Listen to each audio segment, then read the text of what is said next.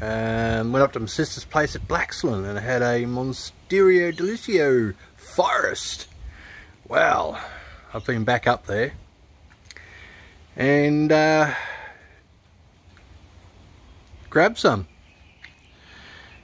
Alright, check this out. I've potted them. Oh, I don't know, maybe, what have I got? 2, 4, 6, 8, 10, 12, 14, 15 of them.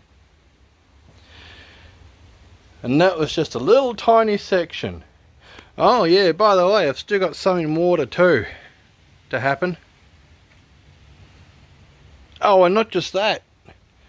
Oh, these are just the remnants and offcuts that I'd stripped off. And I made a uh, mixture. This bad boy and this bad boy.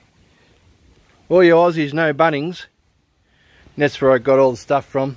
Oh, another thing too. I got all these up at my sister's as well. All these elks. It was on a tree. It fell off.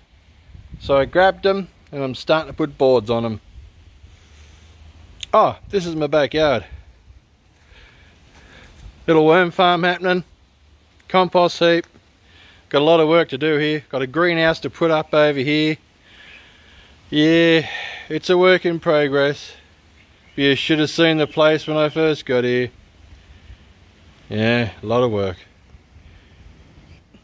Well, we'll see how we go and I'll keep in touch. Ciao for now.